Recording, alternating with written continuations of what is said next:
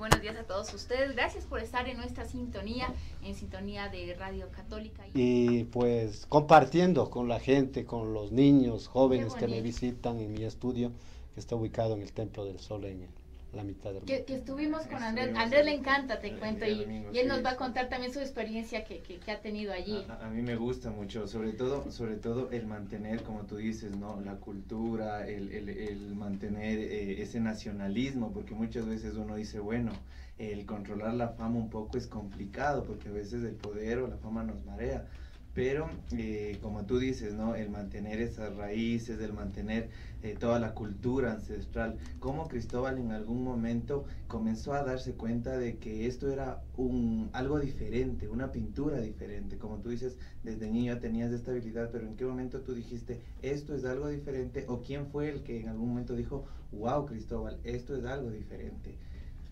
Bueno, cuando uno sale, eh, emigra, eh, se ve también hay mucho desconocimiento cultural de lo nuestro. Los ecuatorianos nos tildan que somos uh, un poco retrasados. Eh, creo que es en todas las profesiones, en todas las áreas. Dentro del arte decían uh -huh. que eh, aquí están las grandes escuelas quiteñas, cusqueñas en Sudamérica. Y cuando a, a la historia nos cuenta la historia común, donde los grandes maestros europeos traen las grandes escuelas y aquí dice los indígenas, los, uh, los indígenas en, en, el último rinconcito estaban frente a los grandes maestros y esos indios inteligentes, esos, eh, esas personas, dice, eh, logran superar al maestro. Y cuando no es así, pues nuestra historia, estamos 60 mil años haciendo arte, estamos haciendo arte en, eh, el, en, el, barro, están quemados, había grandes eh, grandes fundidores en metales, cuando no se eh, fundía en Europa estaño, platino. Aquí tenemos ya los grandes museos, ya no se puede mentir, ya no se puede.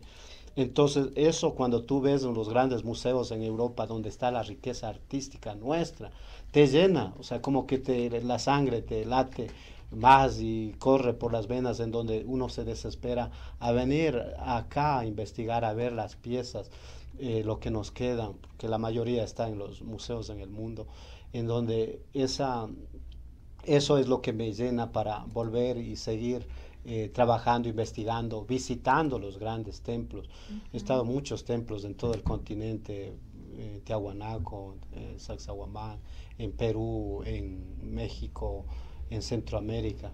Entonces cada uno me voy llenándome de, de, de esa de esa fuerza que eran nuestros abuelos, de esos grandes hombres sensibles, poderosos, grandes arquitectos, grandes artistas, eh, hombres con uh, seres que lamentablemente actualmente pues debemos recuperar y aprender de esas grandes personalidades que hubieron, que fueron nuestros ancestros. Uh -huh. Entonces eso es lo que me ha hecho que, que siga trabajando un poco socializando lo que es nuestra verdadera historia. Qué lindo, qué lindo. Y como tú decías, ¿no? sobre todo el Templo del Sol, en donde el día domingo que estábamos visitando veíamos, eh, y le preguntaba también a Cristóbal, que también a, mí me sorprendió que tiene una habilidad para trabajar en piedra, ¿no? De los monumentos que vimos es desde el Cristóbal. Que hace, es que entonces...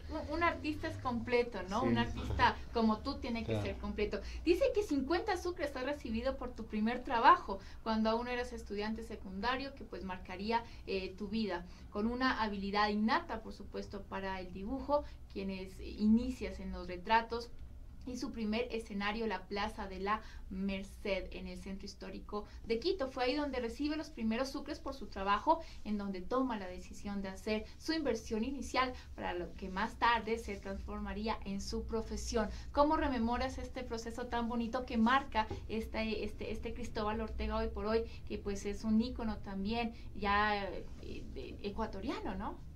Bueno, eh, recordar esos bonitos tiempos. Eso fue cuando ya eh, estuve con compañeros de la secundaria, así jugando. Uh -huh. Me dicen, hazme un retrato y un dibujo. Y pues me puse, nos sentamos en la, en la plaza de la Merced, en los asientos de piedra y empecé a dibujar a un compañero. Pero más fue un, una caricatura, ¿no? Ajá. Y con los, creo que fue unos cuatro o cinco compañeros y luego la gente empezó a llenarse y de pronto ahí aparece una señora, me dice, ¿le puede dibujar a mi niña, una niña? yo un poco nervioso, no había hecho todavía retratos en público. Entonces dibujé y me pregunta cuánto le debo, pues para mí fue algo, una sorpresa.